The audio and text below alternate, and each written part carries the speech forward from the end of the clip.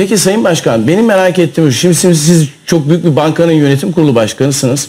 Lisans kurulunda da benim yanlışım varsa düzeltin lütfen. Bankacılar var doğru değil mi? Ekonomistler var. Yani e, böyle karşılıklı e, bir durum ortaya çıkması da normal değil. Bence de. Yani